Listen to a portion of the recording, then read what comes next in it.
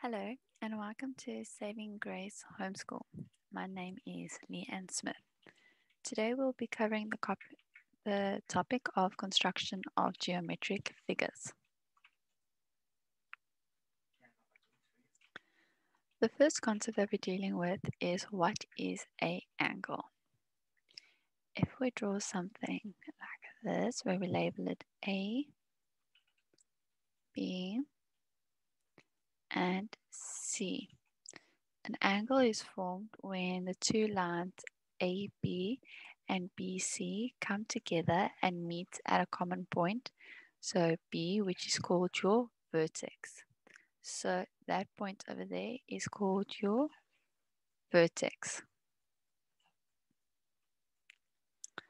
The angle measures the amount of turning about a point in degrees. So if you start at line AB, it measures how much there is a change in degrees from going from AB to BC. When you name an angle, you name it as with the lines that are involved. So it's A, B, and C. So the angle is from A to B to C. And then the point where the vertex is, that has a little cap on the B. So the one with the cap always shows you where the vertex is and the vertex is always written in the middle. Another way of writing out what an angle is, you write it the symbol to show an angle and then you write A, B, and C. And this shows you again that the angle is um, at B.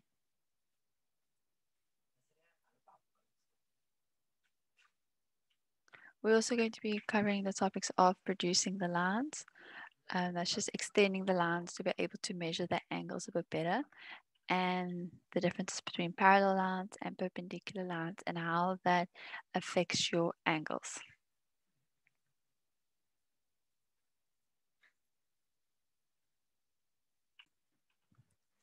A bit of background information about what angles are. If you look at this triangle over here, it is made up of three different lines. Between the one line and the second line, there is a distance. That is what an angle is, and it is always measured in degrees. So the angles of a triangle will add up to 180 degrees, for example um, if you stand in one spot and you turn around completely until you end up in the same spot again, you have turned around by 360 degrees. So 360 degrees is um, the amount of degrees in a circle. You also call this a full turn or a revolution. The concept of angles is basically you move from the one point up until the next point by turning. So if you open a door, for example, it's initially closed and then as you open it up slightly, that difference, so imagine this over here is a door where AB is your door initially. You move it to the position AC. It has moved by a certain amount of angles. Then you move it from AC to AD. Then you have moved it by further degrees. And in this case, the angle over here will be BAC. So if you look here, BAC, the vertex, which is your corner, has that little cap on it. And the angle over here is CAD where A is got your cap.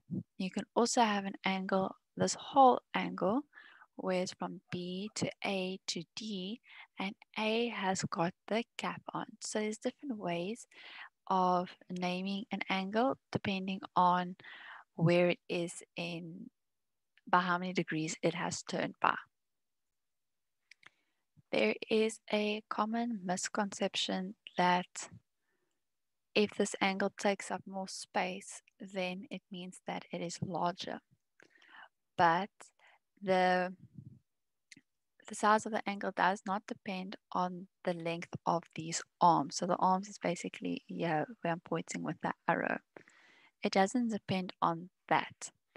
If you move a let me just annotate. If you move something open, let's just stick by the concept of a door. Imagine you're moving a small door and you move it from that position to that position, okay? It moves by say 30 degrees. Compared to now, if you have to move a gate, which is a lot larger than a door, and it's a swinging gate. So imagine that the gate is a lot larger, but in the end, it still only moves by 30 Mm. degrees. So it does not depend on the arms that we are, or the length of the arms that we are looking at. A small and a large angle, which is shown here at 4.1, this is the difference between the two. A small angle has a much smaller area between the two arms over here compared to a big angle. If you draw connecting the two, that's a lot bigger than that small little area over there. So basically, the larger the angle is, then it has um, the directions between this arrow and that arrow are a lot further apart. Whereas at this small angle, the directions are almost identical. We have certain words that we use to describe angles.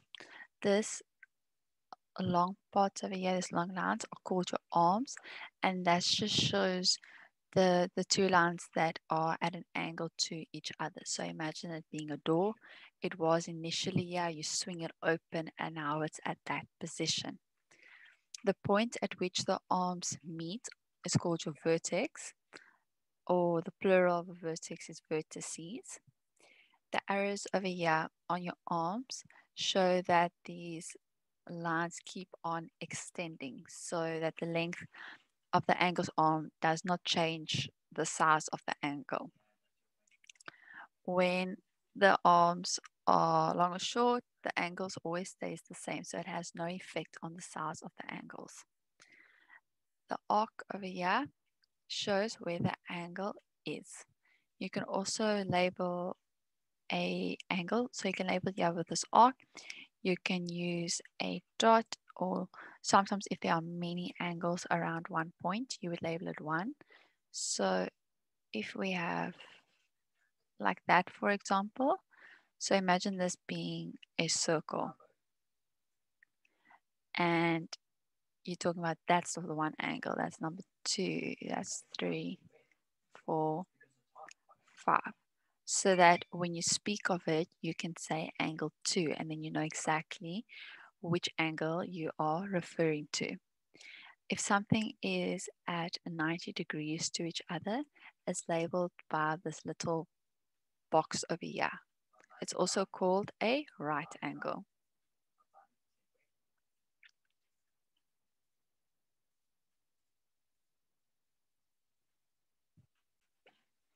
Yeah, it's just a revision activity just to make sure that everyone is on the same page. So just once again to highlight that a angle is the amount that you have turned by. So number one, look at the drawing on the right. Are these lines at an angle to each other? So Yes, they are at an angle to each other. Do the lines have to meet to be at an angle? No, they don't. So an angle just means that they are not, um, that there is a slight turning point between the two, even though they're not meeting.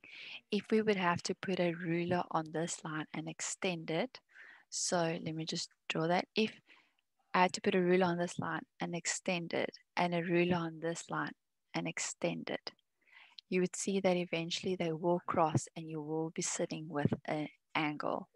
When extending lines, it's very important that you put the ruler directly on the line because just a slight um, difference could really affect your answer. So they are at an angle to each other, even though they are not meeting. Then it says, um, B, copy the lines, you have pencil on your ruler to draw the lines a bit longer so they meet. Oh, so you see that's exactly what I did. And then did you change the angle between the lines when you extended them? No, you did not. All that you did was just now show the angle that exists. You just showed it visually.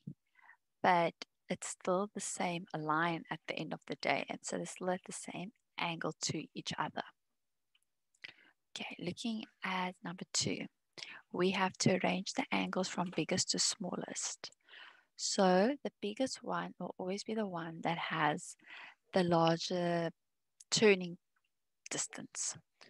So if you look at D, that is like a big one as you can see. So D will be the largest and then here will be E.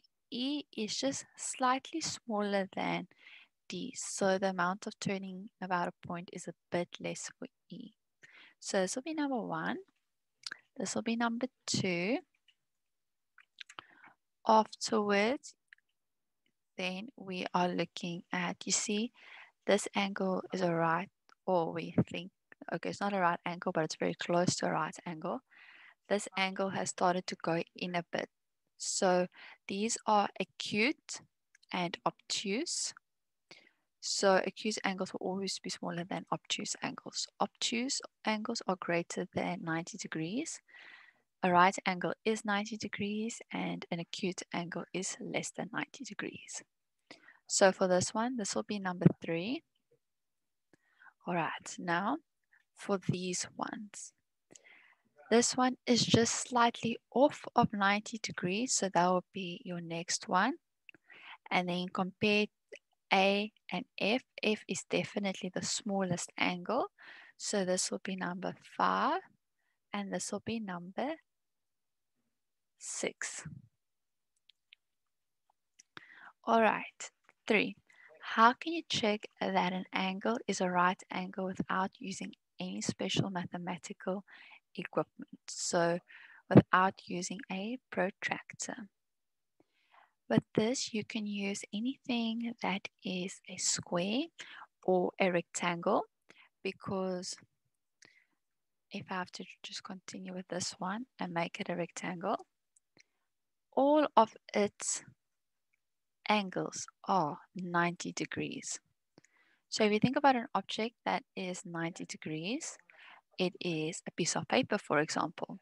You can use a piece of paper, you can use um,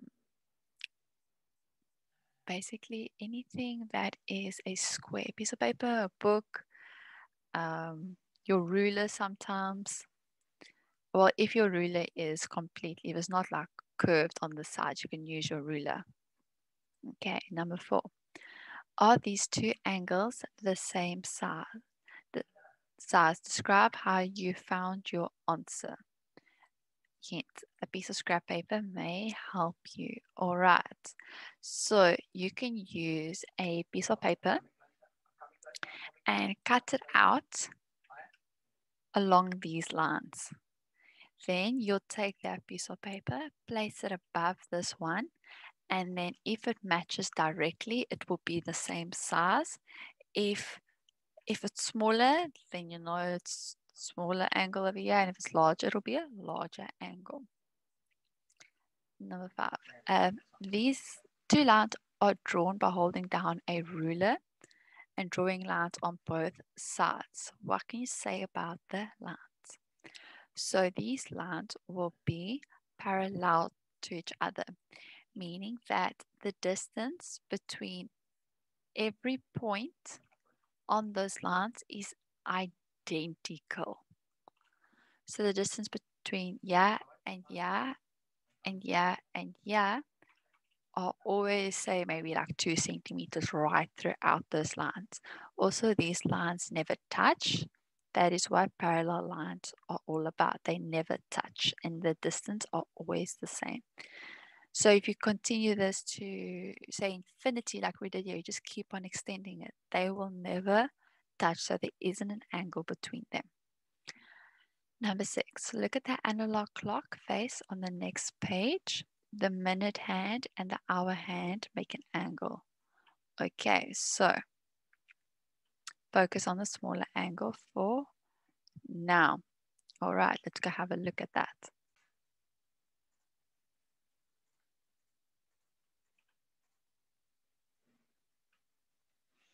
Okay, so yeah, is that hour hand?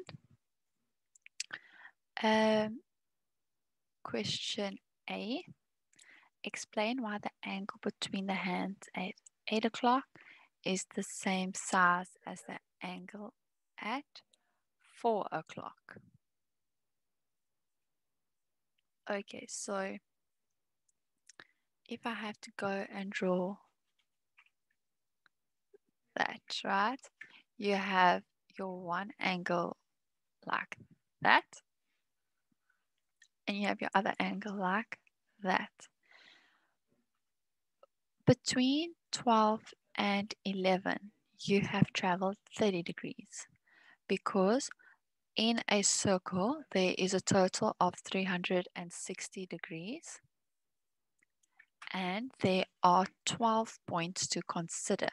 So it's 360 degrees divided by 12, which is 30 degrees.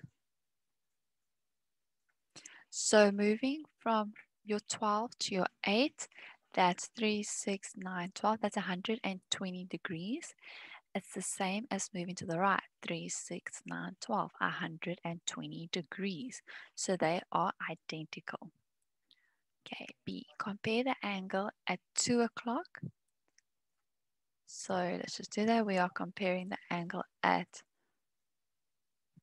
2 o'clock with the angle at 4 o'clock. What do you notice? Okay, so the degrees between the 12 and the 2 is 60 degrees because of that two jumps. And the angle between the 12 and the 4 is 120 degrees.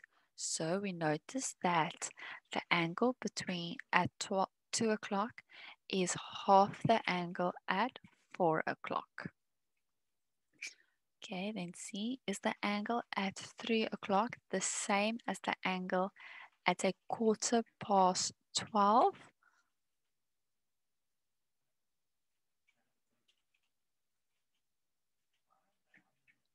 So that is what we are dealing with. Sorry, I read the question wrong. We are dealing with, let's just do this again as the angle at quarter uh, past 12. So that's a quarter past 12. And the angle at 3 o'clock. So at 3 o'clock, it will be, so that's at 3 o'clock and a quarter past this 12. This hour uh, second hand would have moved a bit. So no, it won't be the same because when it's at 3 o'clock, it is dead on the 12 and dead on the 3. Whereas if it's um, at uh, quarter past 12, that hand would have moved. Okay, so this is 3 o'clock. Dead on the 12, on the 3. At quarter past 12, you've got the hand, the hour hand just slightly off of the 12 and you got the minute hand on the 3. So it'll just, because of that slight difference, it won't be the same angle. Okay, and then we have number seven. When you open the cover of a hardcover book, you can make different angles. Can you think of at least five other situations in everyday life where objects are turned through angles? All right, so if we look at the answer here, num number seven, it's basically anything that can open. You can open a door, your your laptop screen, a CD cover, um, your arms and your bodies, and your arm, just your upper arm and your lower arm, with your vertex and your elbow. So like there, your vertex will be your elbow, whereas here, this could be your shoulder. So it's it really anything that can open up will be an acceptable answer where the, you can identify what the vertex will be. For example, like the door, the vertex will be the hinges.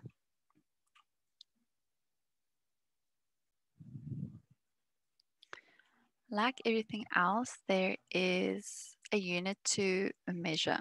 So if you want to measure the length, it can be anything from millimeters, centimeters, meters, kilometers, and so onwards because we need this to, for example, um, design buildings or any structure, even just doing your laptop, all of that needs to have a certain degree or a certain measurement. Now, for your angles, the unit for measuring it is your degrees. It has been decided that in a circle there is 360 equal parts. So you say in a circle there is 360 degrees. Now, if you go and cut it up into quarters, each quarter will be 90 degrees. And there is a special name for this. You call it a right angle. So this, I'm going to make this number one. And if we look at the table, that is number one. That is your right angle. It's very important. Then the if you cut a circle in half, you get 180 degrees. This is called a straight angle, and I'm sure you can see why. It is literally just a straight line going through your circle.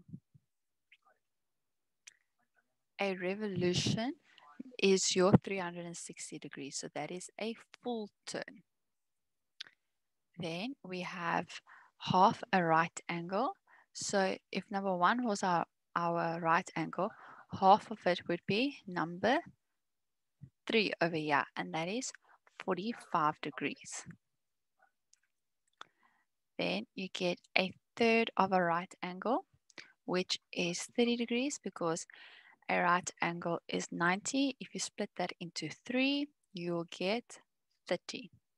So this is number 4 and number 4. The same if you do a quarter of a right angle, you just split that 90 degrees into 4.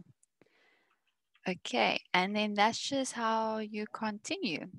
Half a straight angle is the same as saying a right angle, but we usually use the term right angle. We don't say um, half a straight angle normally. Then three quarters of a revolution. This is the case over here by number five. So a revolution will be right around the circle, but now you've only gone three quarters of the way. And a third of a revolution will be at number six, and that is 120 degrees.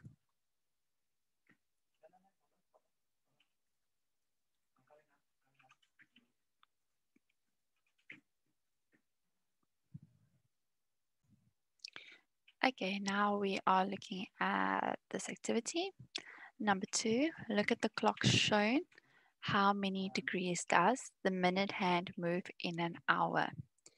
In an hour, it moves right around the clock. So it is then a full revolution, which is 360 degrees. How much does the hour hand move in an hour? So it's the minute hand that goes right around, but your hour goes from point, say, from four to five. So if you remember previously, I said to go from the one part to the other part, it's 30 degrees because there are 12 equal parts, and in a circle there are 360 degrees. Okay, number three. In grade six, you learned that angles are classified into types. Copy and complete the table. Okay, so an acute angle is less than 90 degrees, so it is between 0 and 90. A right angle is 90 degrees. An obtuse angle is between 90 and 180. A straight angle is 180. A reflex angle is between 180 and 360 and a revolution is 360 degrees. So note here with your reflexed angle, you would write it on the outside part. So looking over here, this will be an acute, a right, an obtuse, a straight. You see, the reflex is this part over here. So you go in and put that little um, curve, that arc on the where the angles actually is. So it's not on the inside here, it's on that outside. Then the revolution is right a round. Okay, now this activity over here, you need a sheet of A4 paper. At the corners, you have four right angles. Number them and tear the corners off as shown in the diagram. Do not make them too small. Now use your right angles to investigate the following statements. Show that the straight angle is two right angles. So you'll take maybe like one and four and you'll put this four on that edge over there to show that it is. So actually with this activity, you can do it on your own and just, it's an investigation just to visually see what we are busy showing.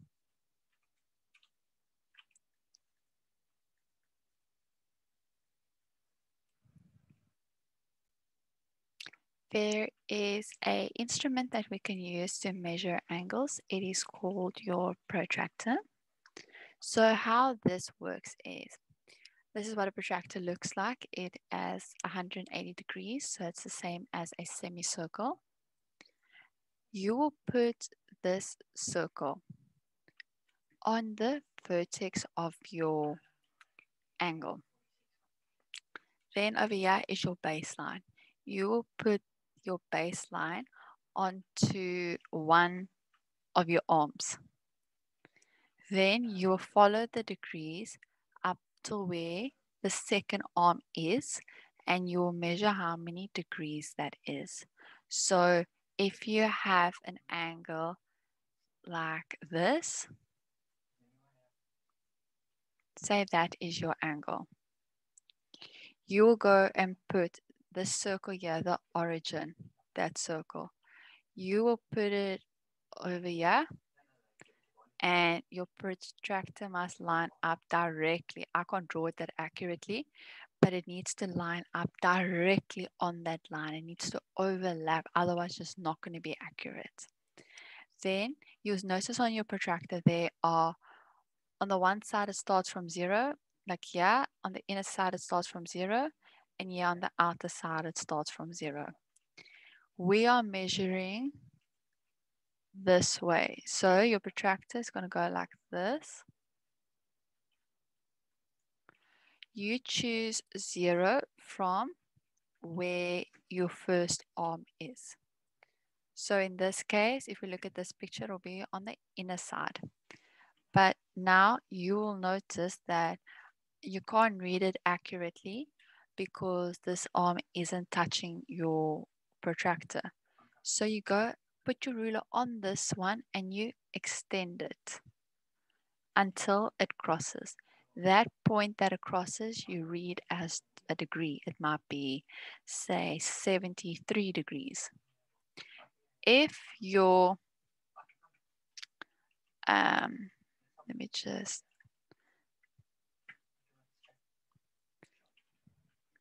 if your angle looked like this, you will go and put your origin of your protractor there and do your protractor like that.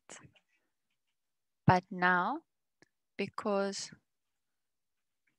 we are starting on this side, you'll read zero from this point onwards. And that'll be on the outer side. So that zero just depends on where you want to, or where your angle is situated.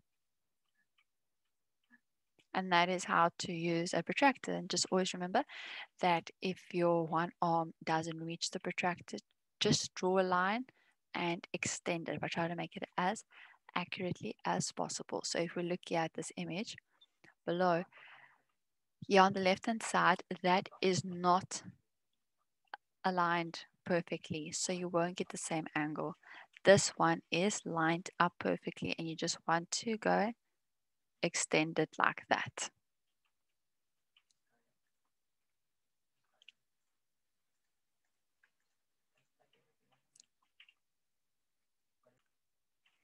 In the previous one, we showed how you line up the your ruler with the line and you extend it. So over here you can see you put, place the origin on the vertex and then you'll read it from that way onwards. And then the point that it crosses, that will be its degrees. This is, you don't want to do this because you see it is not aligned properly, whereas this is exactly on top of the vertex and the baseline is exactly on top of the arm. You can, it's not always that you will measure it straight like this. Sometimes you might need to turn your protractor around because your angle can be in different places, that is fine. Place your, your protractor according to where the angle is. And over here, just extend that line further so you can place the protractor directly on it.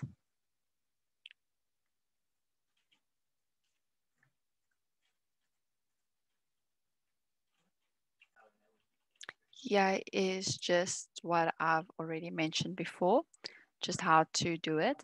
So now with this activity, you need to go and practice it yourself.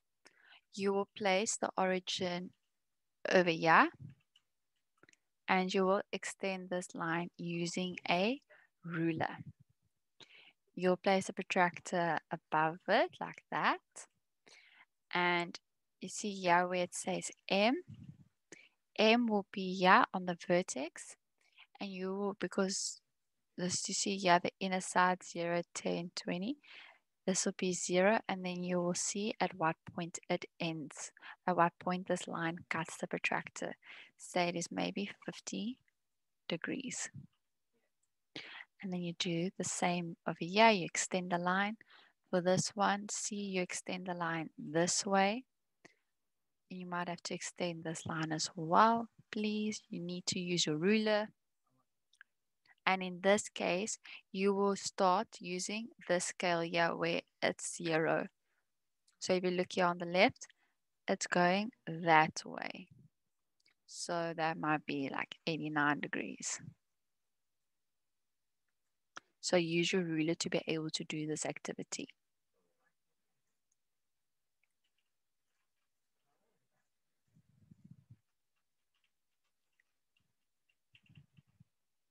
Yeah, it's just some more to try. And then yeah, is the, the sizes of the angles so you can actually go and try for yourself.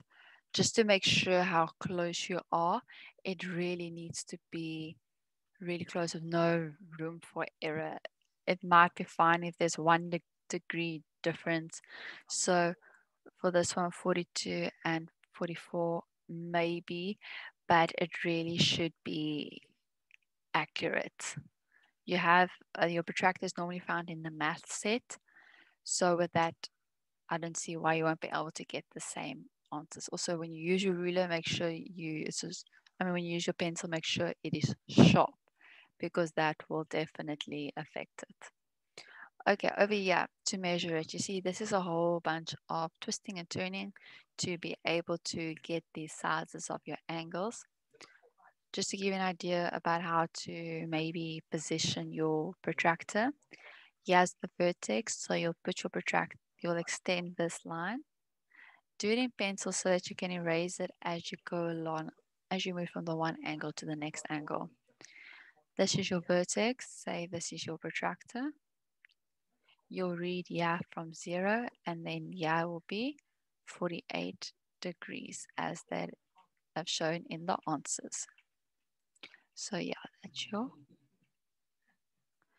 If you want to measure number five, for example, you can see the line is already there. You place your protractor there. This should be your origin. I didn't draw it that well.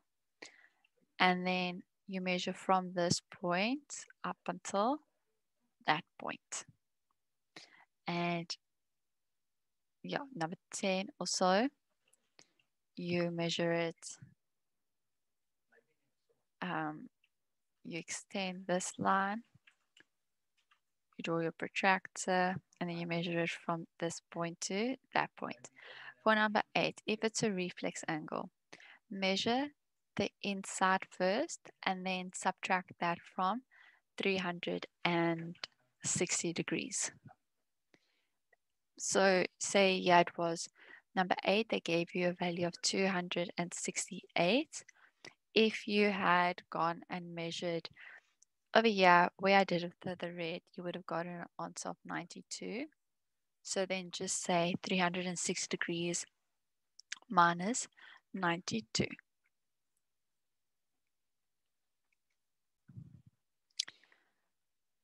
We have covered so far measuring the angles, but now sometimes they can give you an angle and ask you to construct it, which is like over here number three, the activity over here.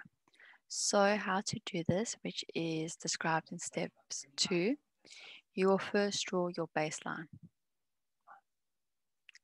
And you would mark your, your vertex.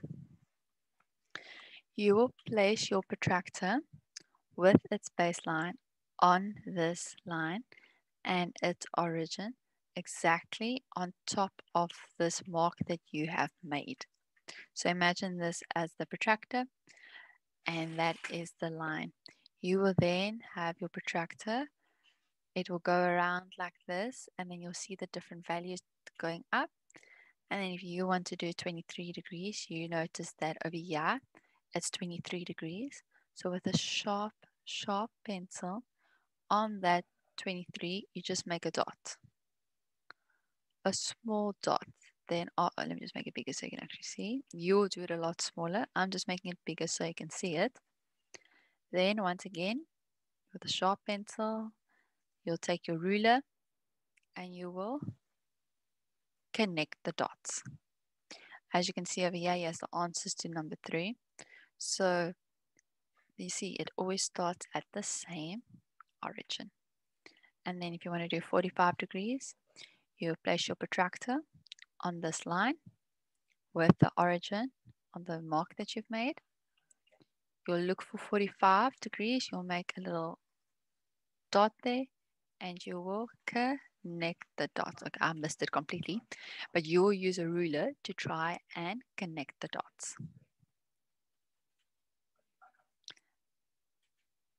And this line that we have been given is called a reference line.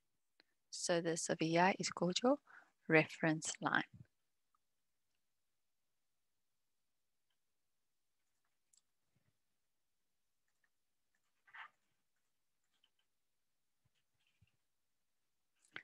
Okay, then we have parallel and perpendicular lines. I've already mentioned the concept of parallel lines.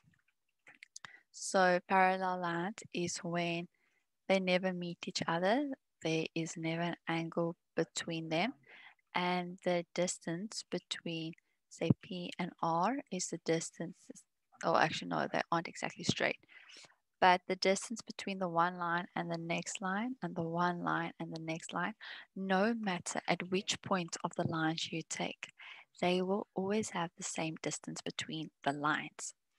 And you show that lines are parallel by using these um, these symbols. When you, so it's, it's the arrows, the arrowheads. And you'll usually place it on the middle. So they've done it for you. I didn't want to go over it. So you place it on the middle of the lines to show that they are parallel to each other. And when writing it, you say PQ. So you, you label the line with two points that you have found on the line. And then you put a dot, I mean, a line and a line. I mean, that makes sense. That's exactly what parallel lines are. And then you say R is. So by seeing that, you know that PQ is parallel to RS. Now when it comes to perpendicular lines, they are at 90 degrees to each other. So they form a right angle. And when you write it out, you write basically what you see. You see line AB, then you see it forms like a, it forms that shape. And that is exactly the symbol that you are going to be using when saying that AB is perpendicular to BC. So perpendicular lines have a 90 degree angle between the two lines and parallel lines have the same distance between the lines and they they don't have any angle between them. All right, so well, I can't say they don't have any angle between them, but they they never meet each other. Okay, um, that is basically the difference between parallel and perpendicular.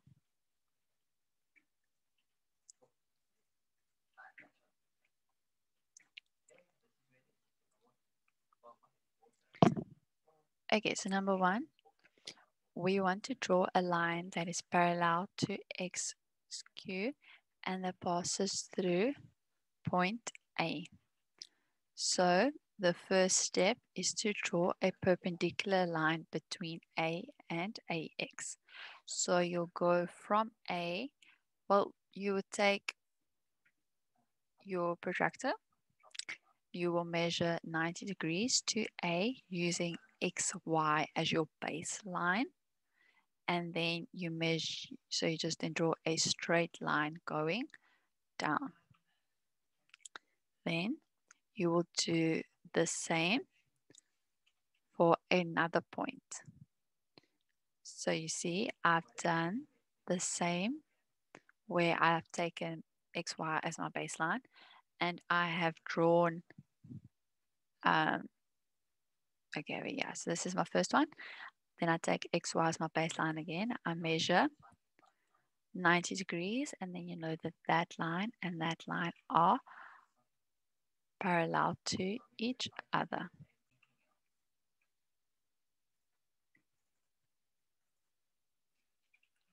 Okay, so once you have those, uh, once you have drawn those two lines that have equal distances, so you'll go measure 90 degrees to draw the red line, you'll measure 90 degrees to draw the blue line, and then you just you see okay the distance between A and C is maybe three centimeters.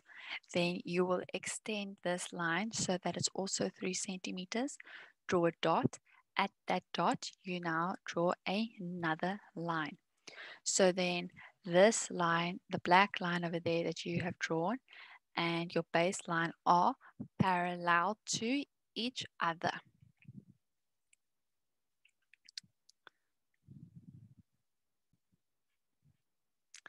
All right, now there is a way to draw a circle with a string. What you'll do is you will, it's all described here in this activity over here. You will take two pencils.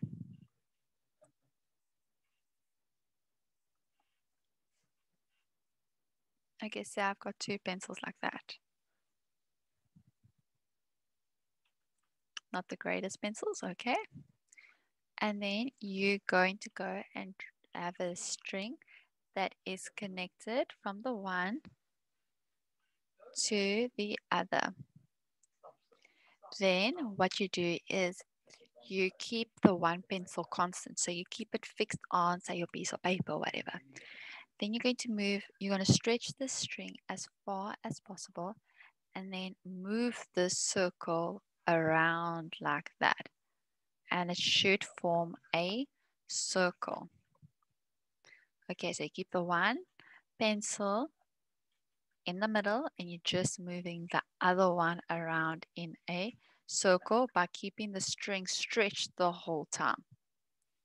And just to recap quickly the properties of a, or just some words of a circle.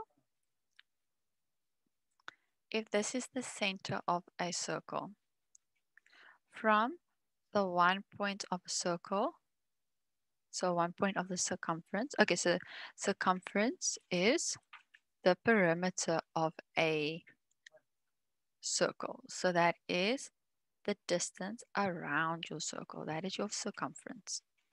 Then going from your one point through the middle to another point, and if that's a straight line, that is called a diameter. A radius is from this point to the side. So a diameter should be double the mm-hmm. length of your radius because the radius is only from the circumference to the circle, I mean to the center, whereas a radius is from the outside to the center to the outside again. All right, so the this distance right, so basically a diameter is cutting the circle in half while it goes through the center. That's your diameter and your radius is from the center to your circumference.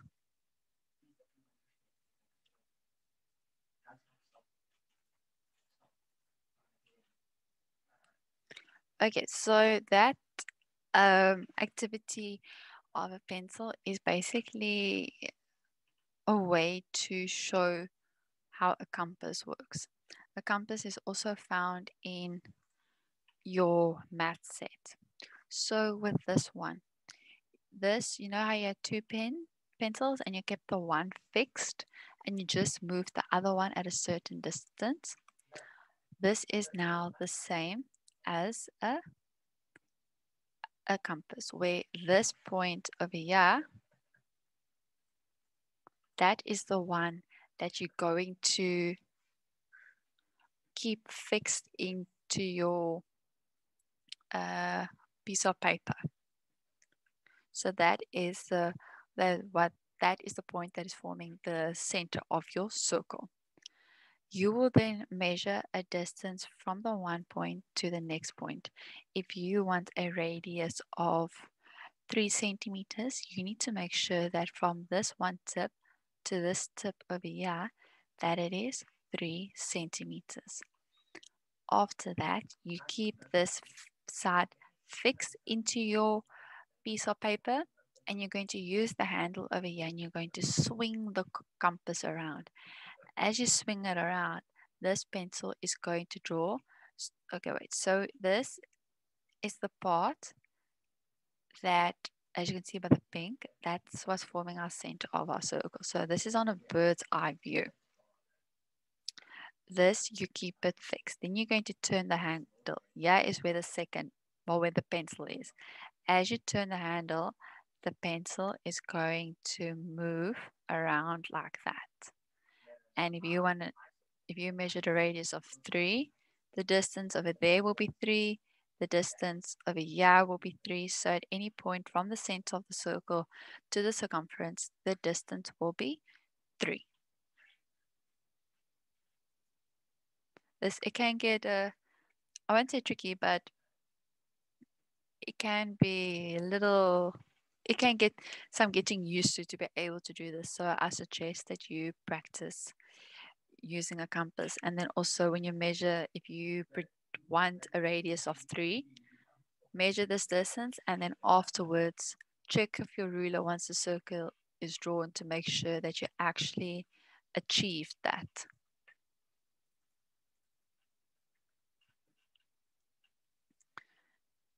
Okay. Oh, yeah, is a very nice one where they can show you exactly how it is done when you use a compass.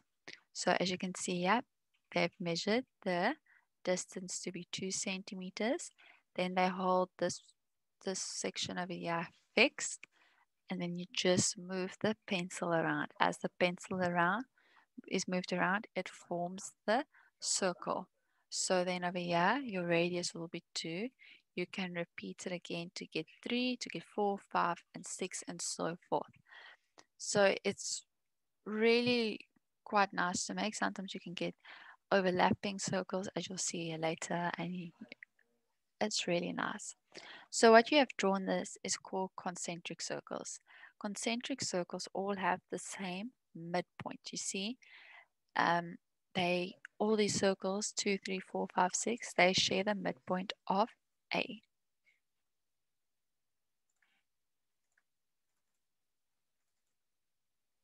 So yes, we um, you can actually draw some pretty circles in the end where yeah, you have your main circle, which is the yellow one.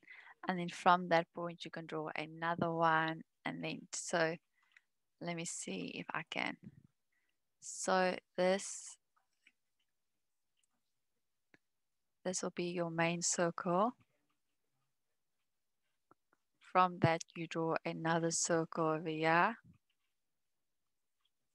And then another circle like that.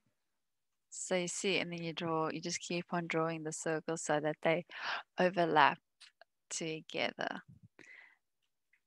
So this is this activity over here is to be able to construct this. And there they say that you must make the radius to four centimeters, draw a circle at the center. Yes, so that is your first step.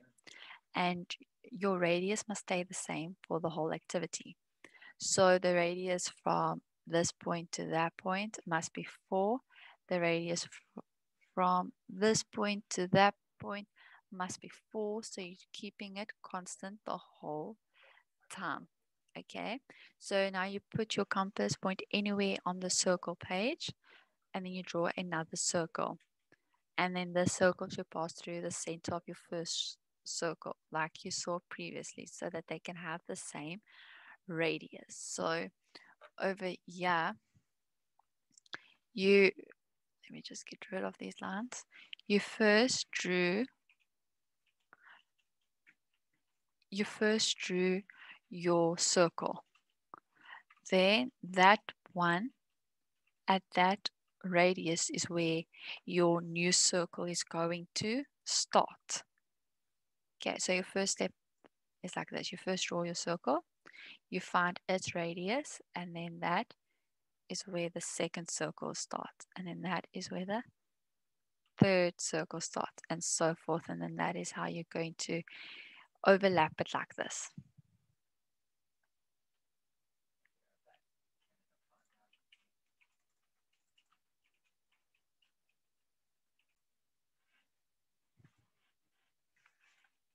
So drawing um, or doing this activity wasn't a complete waste of time because what it helped you now do is to be able to draw different polygons. So the one that pops up is if you, at this point where the circles meet, you draw a dot. And if you connect these dots, obviously using a ruler, so it's not as skew as mine, you would have created a hexagon. You can also have where you join three of the dots to get a triangle. You can have, that was a bad start, let me try again.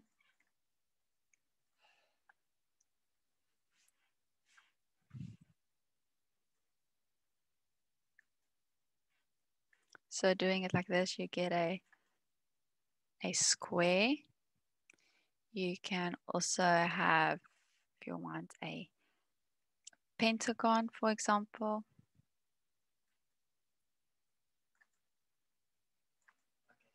Like that. And so you just keep on going. So that's just different ways of how you can identify your um, different polygons in this.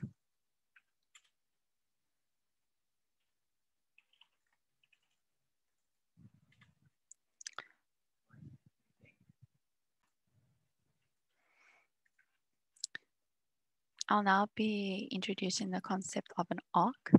So you have a circumference, which is the distance around a circle.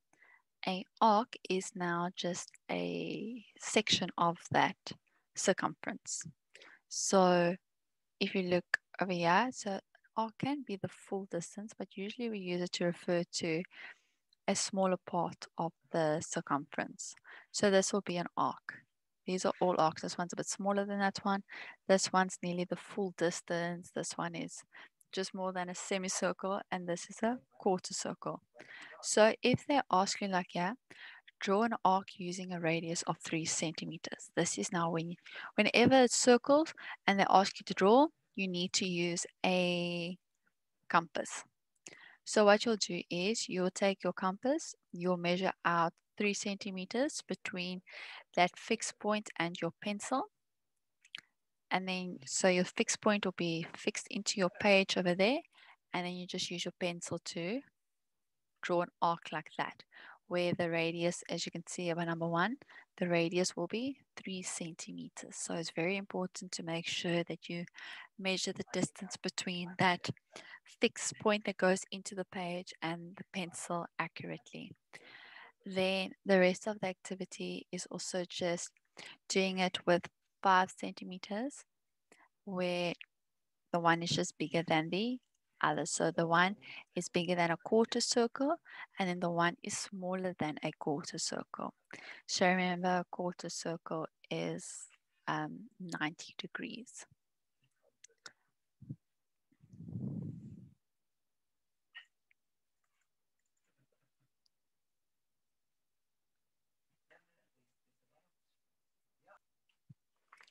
All right, so on the left hand side here, we have different images, well, different designs of circles that you can try to copy and then just see, this is good practice when using a compass.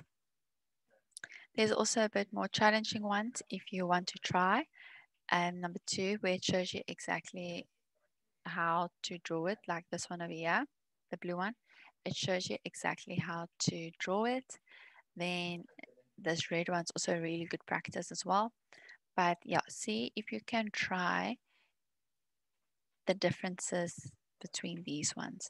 So to get these circles perfectly, the radius of the red one, you're going to have to half it to get the yellow one. So let me just show you.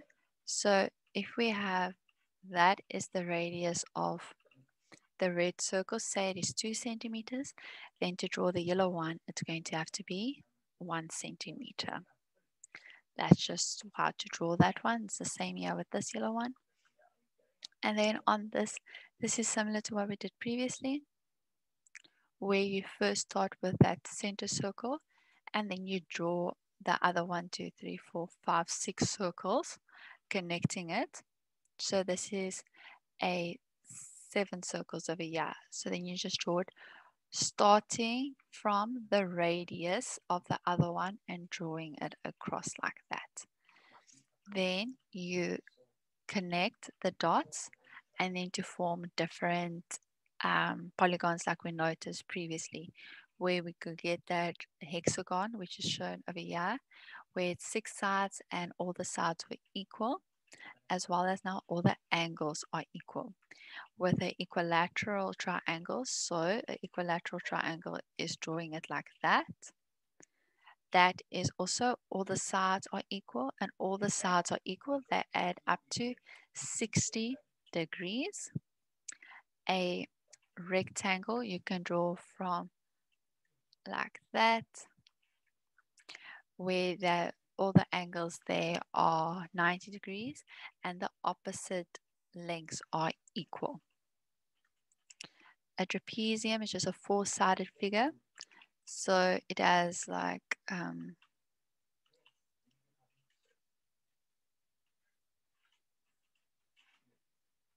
that will probably be a trapezium where it has two obtuse angles and two acute angles and one side is, actually no, that is not a trapezium. A trapezium would be, it needs to be parallel sides. So you'll connect that and that, that is your parallel. And then you would connect that and that. Here is your obtuse angles and here is your acute angles. And then a kite is the one that I drew previously, where the adjacent sides are equal in length and one pair of angles are equal in size.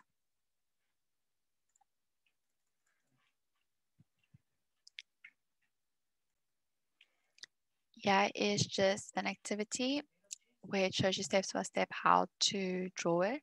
So for example, for 1A, it says you says that you must draw a line first, and then the line should be three centimeters and six centimeters.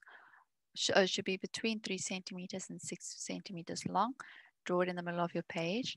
So this will be A and B. You will label it as A and B. Then you have to set your compass to where A is the center, and then you use your ruler from B. I mean, the, the pencil part of your compass from B, and you make a circle. Then you set that um, fixed point of your compass on B, and you make a circle again. And then the point that they cross, so they cross there, and they also cross at the bottom. You can choose the point.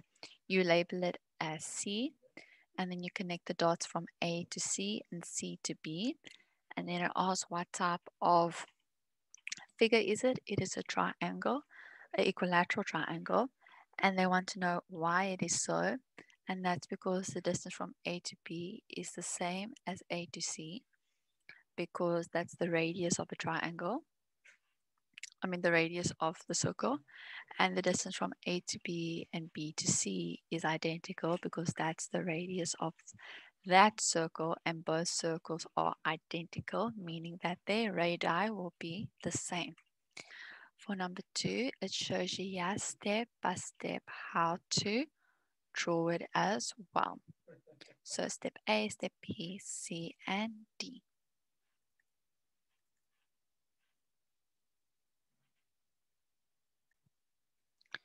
All right, this is just parallel and perpendicular lines with circles. The first question, 1a, when one line is parallel to another line, the lines, so with parallel lines, you know that they have always the same distance between them and they will also never meet each other.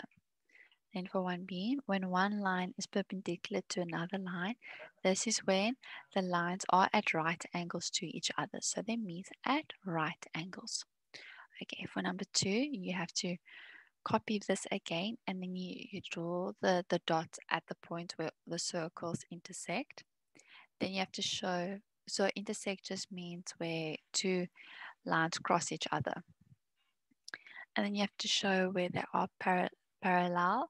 So all of this is parallel, that's parallel, that's parallel. So see anything that's parallel and then let me just mark it you. So this could be Oh, that was bad. Give me a second.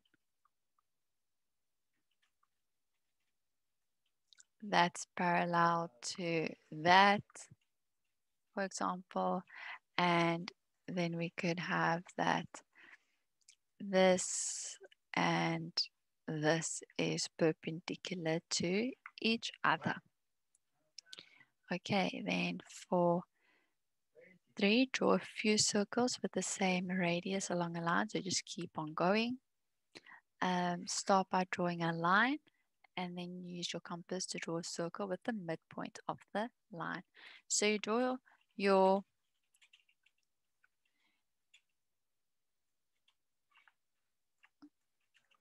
hang on, you draw the one circle. After that, you find its midpoint, and that's going to be the starting point of your next circle. Then you find that midpoint, and that's going to be the starting point of your next circle, and then so onwards.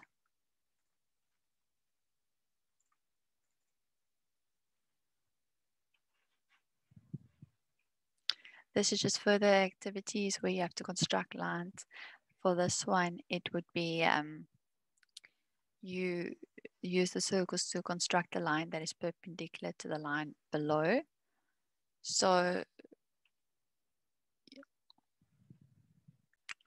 to do the um, perpendicular, you draw the two lines, the two circles crossing that line, and that line has to cross the center. And then the point at which the circles intersect, you would draw a line through those circles, and then that line will be perpendicular to your original line. The same now, if you want to draw parallel lines, you draw your circles. Again, the one circle starts at the center of the next circle. And then your perpendicular line, I mean, sorry, your parallel line will be again through where they intersect. And then that's how you would do that. And that is everything on geometry. Goodbye.